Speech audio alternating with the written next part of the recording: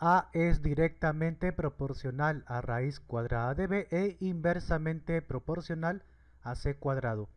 Si A es igual a 8 cuando B es 16 y C igual a 4, hallar el valor de A cuando B vale 64 y C 16.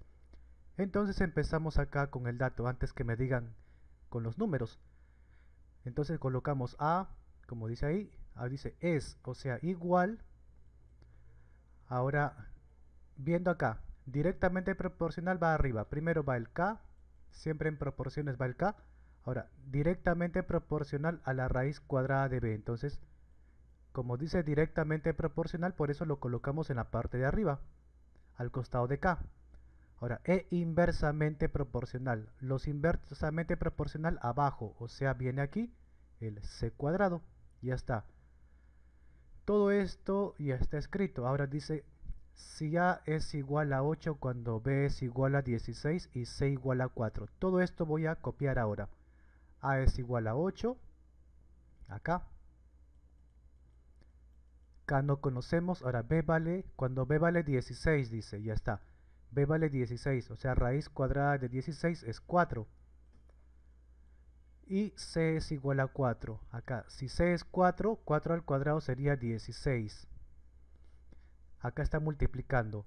De acá vamos a hallar el valor de K. A ver, 4 con 16 sacamos cuarta y cuarta. Cuarta de 4 es 1 y abajo cuarta de 16 es 4. Listo.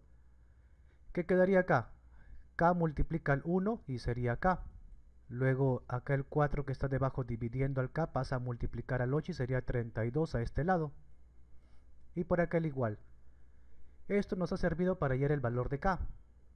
Ahora viene la pregunta, hallar el valor de A o sea, vamos a hallar el valor de A cuando B vale 64 y C vale 16. O sea, vamos a reemplazar acá, como si no supiésemos A, B, C. Entonces, bueno, en realidad sí vamos a saber B y C. Y acá reemplazamos entonces, primero va K, que ya sabemos que vale 32. Ahora B vale 64, o sea, sería raíz cuadrada de 64, que sería 8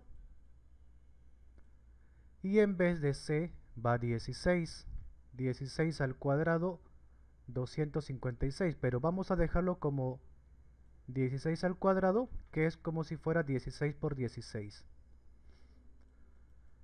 listo entonces de acá ya va a salir k. Como hay multiplicación se puede simplificar uno de arriba con uno de abajo a ver por ejemplo 32 eh, con el 16, si sacamos mitad mitad, acá sería 8 y acá mitad de 32 es 16.